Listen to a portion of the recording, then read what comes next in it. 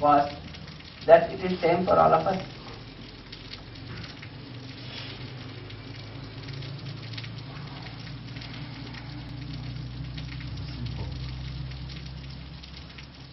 Same formula.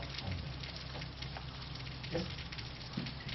In fact, if I start looking at myself, right, in my activity, you know, if I look, start looking at this natural acceptance which is there in me, right, this revelation comes, this revelation comes, this revelation comes, right. All this is coming out of my own self-investigation, self-exploration, right. And each one of us is doing it ourselves. In that sense, the process is very subjective. But when it comes to the results, the results are very objective, very universal. We are doing each one of us, but the results you are getting is universal, right? Is objective.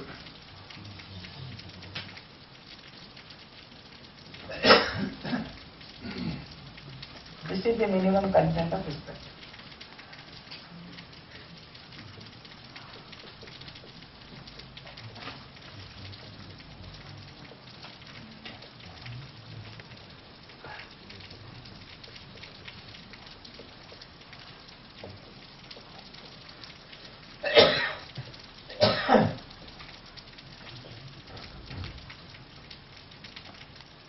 Now you can see whether we have been able to see even this much till now.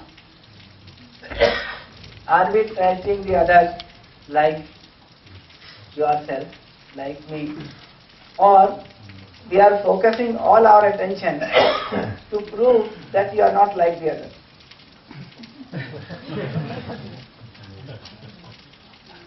you are exclusive. Everything. You are trying to accept the other like you, or you are trying to prove right, that the other is not like you. So your clothes, your house, your car, right, all this, you know, you are using to show that you are not like the other.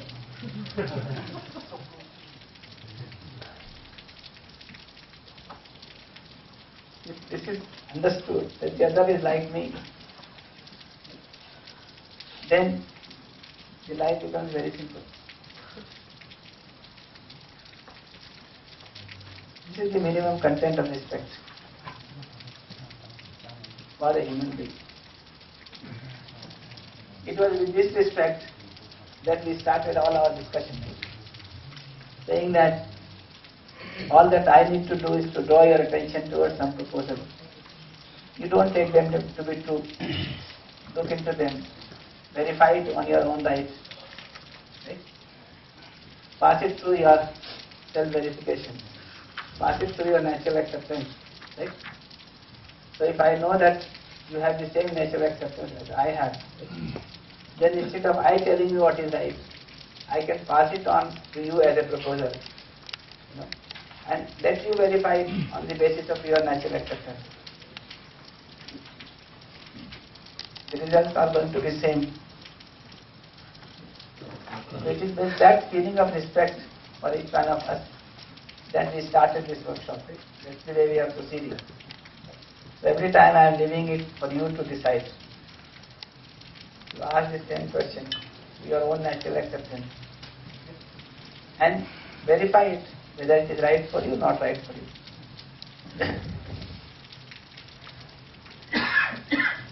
So, so actually, I don't know whether this, this is the right time for me to raise this question or not. But uh, if I don't raise this question, it's always lingering in my mind and I'm unable to concentrate on the subject matter you're presently discussing with. And uh, for having undergone this workshop for last two and a half days, not three and a half years for me, I, have, I could not attend the first day. For having undergone uh, this workshop for two and a half days, I realized and I found some of uh, some flaws in the government system, in the production theory, in the management theory, in the consumption theory, in the marketing theory, and many others, in, in many other fields and areas. So again, I'm in dilemma whether to be with the existing system or to switch on to human values and professional ethics. So if I follow the latter one, is there any rule of thumb for it? I would like to listen for some recommendations and suggestions from you. Yeah, the rule of thumb is very simple.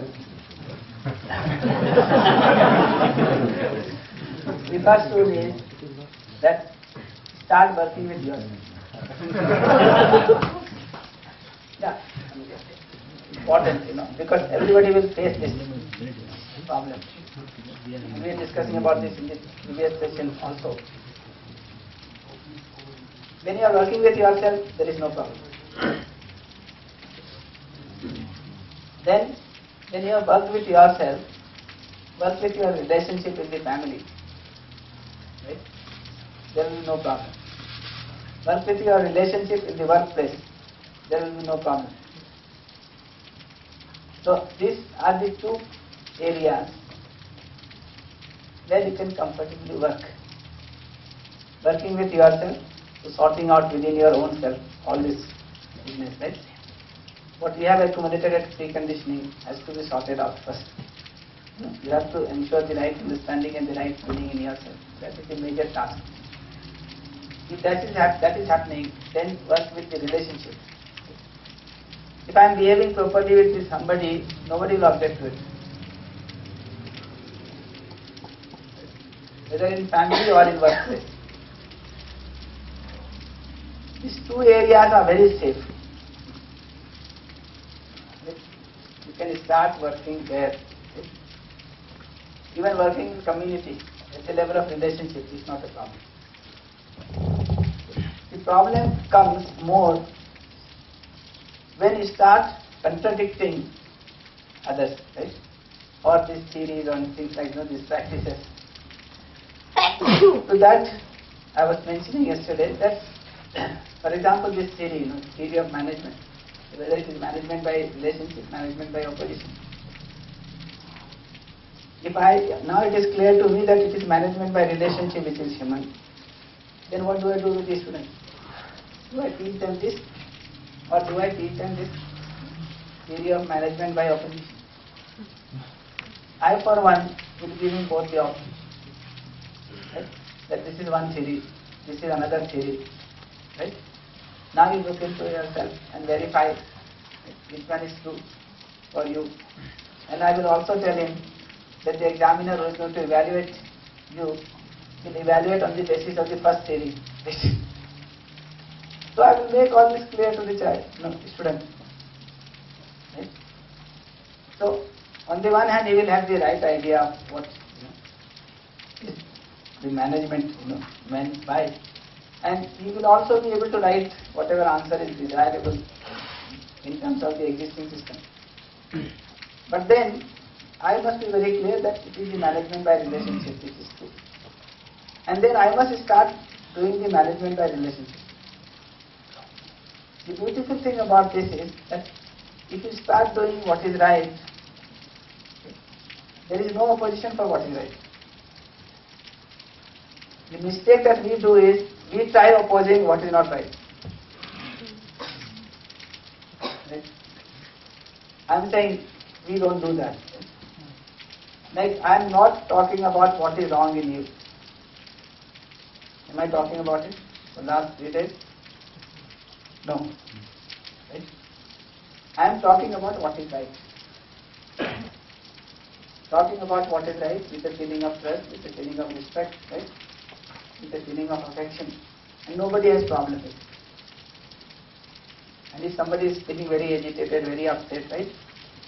He's asking it in the form of a question rather than getting unhappy about it, you know, or protesting against it.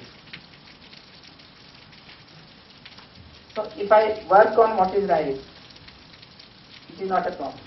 The problem comes when I try to oppose what is not right. Okay? Without ensuring the relationship. First, have clarity in yourself, then start working with relationship. Right? then slowly we can sort out all these issues together, you know, in relationship. So it is not going to create too much of contradiction in you if you are trying to work with yourself and this relationship. Then slowly you will find, you know, how to work with all these issues, you know, how to take care of them. Because when you work with yourself and with the relationship, you immediately realize the other person is also wanting the same thing as you are wanting.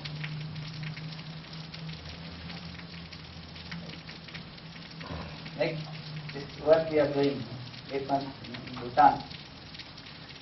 We have come to realize that yes, everybody is wanting to do this.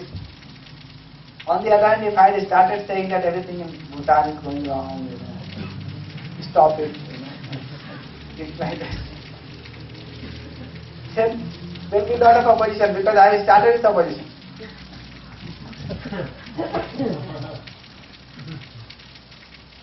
So it is not going to be much of a problem. if I start with right understanding in myself and then with right fulfillment in relationship, if that happens, then we together can start solving the problem, all these issues. So we don't have to hurry, we don't have to jump on it. We have to slowly start unfolding right?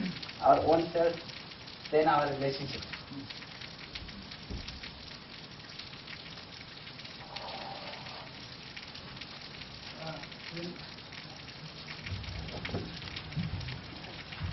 Uh, with regard to the leveling of uh, disrespect, so only two, which is uh, under evaluation and otherwise evaluation, uh, I can uh, assume that it can be applied in all uh, type of scenarios. But when it comes to over evaluation, uh, I'm finding it difficult to apply some aspects of our life. Because we live in two different realms. One is the realistic world or practical world where we can uh, we can apply this. That uh, if you over-evaluate, it will be disrespect. But other one is uh, in a world which is full of emotions, where this reality doesn't really exist too much. Then you're expected to do something different. So I was thinking about in me, myself, with my wife in our anniversary, and then for a dinner. And then with full of romantic uh, atmosphere when we are there over a dinner table, then uh, she dressed up and then made with some makeup. And then she wanted, she asked me, how do I look? I said, oh, you look better. No, over evaluation. Now it's. Oh, you look better. Uh, she wouldn't take it that positively. So I think it will be some sort of like a disrespect. But uh, what she would expect from me is, yes, you are very beautiful, most beautiful girl I've ever seen in the world. then that is what she would expect. But again, if she has undergone this course, then she would again get angry and say, you're disrespecting me, you're then I'm thinking, okay, uh, if you, she has undergone this course, so maybe, uh, and then she would perhaps say, see, you, you haven't seen most of the girls in the world and you're saying I'm the most beautiful. That's not realistic. You're over-evaluating. But then I'm saying, okay, now she has undergone this course, she knows about the over-evaluation, and maybe I'll tell her the fact. If I rate in the girls in the world from 1 to 10, you fall somewhere in 5, 6, I think the dinner plate will rush towards my face. I think it will fly on my face. So I'm just wondering, you know, in some cases like emotional, where emotions are involved, uh, I don't know how we can apply this over-evaluation. Yeah, in fact, one great mistake that is being done there is that we are evaluating the other person on the basis of the body.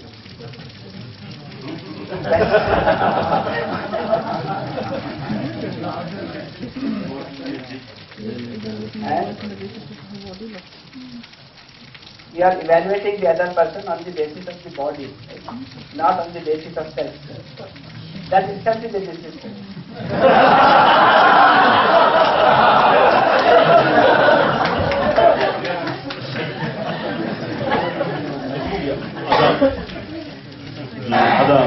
point is, uh, Now, uh, coming back to the question that uh, he was raising. Uh, uh, my, uh, uh, my point of view, it is always to do with the intention. You have a good intention, with a love, with a genuine feelings, you are over evaluating, under evaluating or otherwise, it will be all directed by the intention and the genuineness that we express. This is what I feel. So this, you know, responding to your question first. The first problem is that we are evaluating on the basis of what? And the problem with this is that if you start evaluating on the basis of the body, right, it will create whole lot of problems. And the fact that she has to do so much of makeup and dress up is an indicator of the fact that you don't respect other otherwise.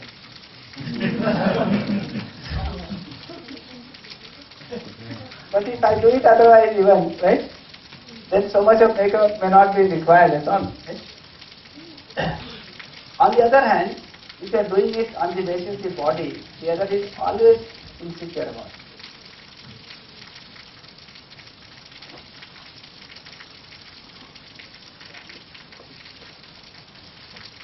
The other will always feel insecure. This is story about Mullah Nasruddin, lot of stories, very interesting story. They are all indicative of the way we think and do. So this Mullah is in, fallen in love with a girl. Fallen, not standing in love.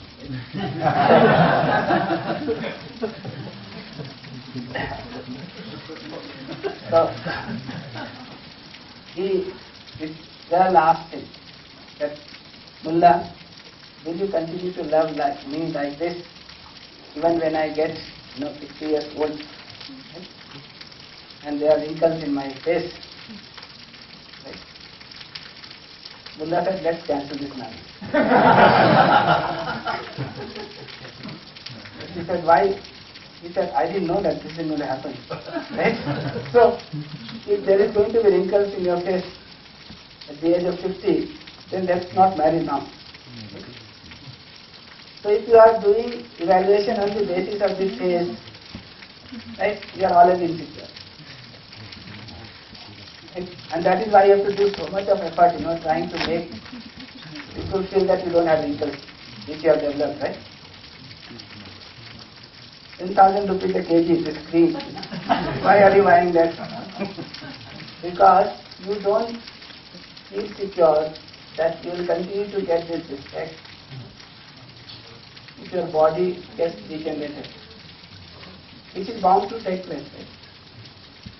So what is happening is most of these things which we have, you know, designed in our, uh, day-to-day life and the whole system, is based on certain things which do not have that permanence. And what you want is the permanence, right? the continuity. If you base something which is not based on, you know, something which is in your nature, you are bound to get into trouble. So if you are doing that, using that as the basis, then lot of these problems will creep in. He has to, you know, make effort to show that he is the most beautiful, and then you have to appreciate, you know, that she is indeed the most beautiful, right? Which she is not. then you will get into trouble, and she will also get into trouble. If this was the basis, okay, and if you were able to appreciate her like yourself, there was no problem. Then she doesn't have to come back, you know, dressing her in different colors and dresses.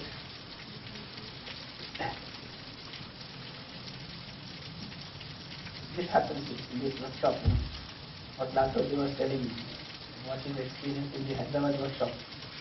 Most of people, when they come for the first day, you know, for the workshop, they are dressed very upstate and everything. You. Next day they become, become you know, more comfortable. Third day, by fourth day, everybody is very comfortable. They don't have to dress because they want to draw the attention of the other. Right? You are getting the attention even otherwise. So it has become very normal. this dressing exclusively is trying to get the attention of the other, which is an indicative of the fact that the other is not paying attention otherwise.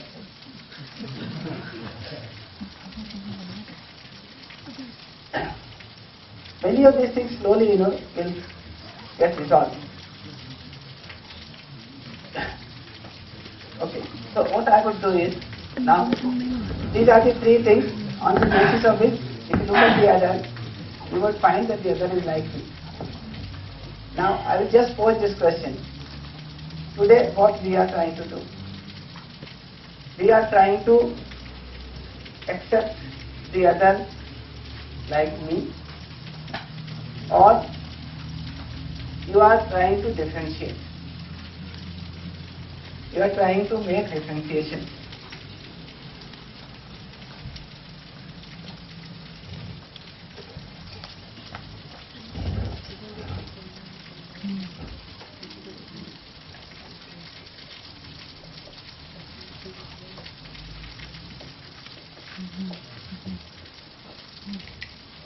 Differentiation on the basis of body, on the basis of physical facility,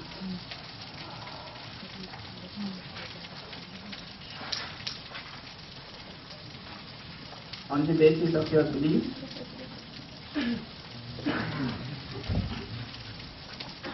what do you do? You are trying to differentiate in the name of respect or accept the other like yourself.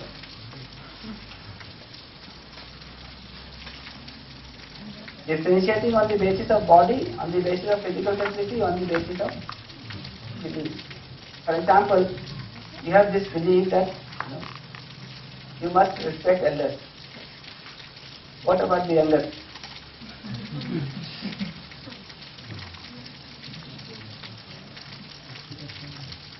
To respect elders or not. So that would mean respect everyone. Right? So this differentiation in the name of respect on the basis of the age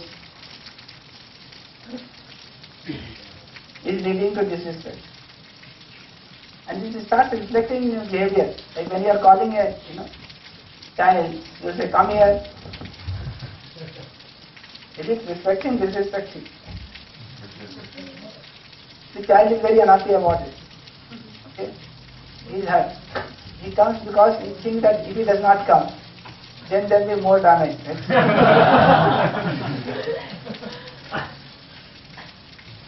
so just think, you know, we will discuss about this after this lunch. Are we accepting the other like me? Are we trying to differentiate in the name of respect? And if this is differentiation, it will lead to disrespect. What we are doing today in the name of respect is ultimately leading to disrespect. Right? Whether it is in the form of age or it is in the form of gender, sex, or it is in the form of race, or it is in the form of physical strength.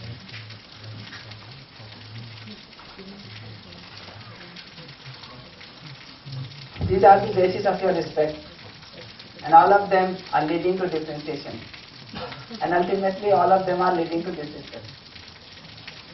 Similarly, your wealth,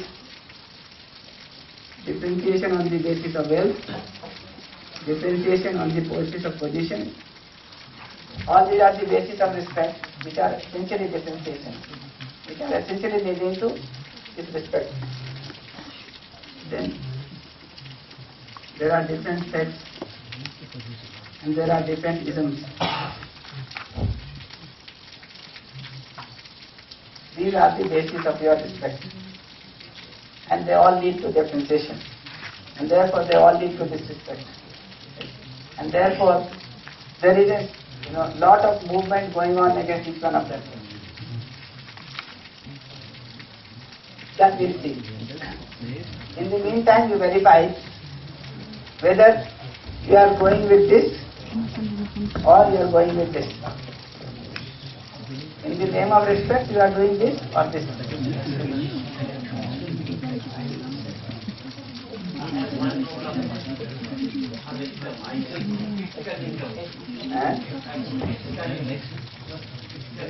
That has become a sect. Is communism, capitalism.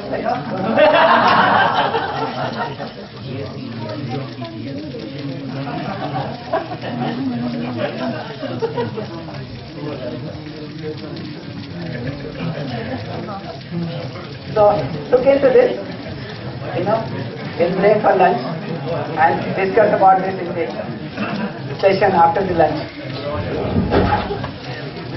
Thank you.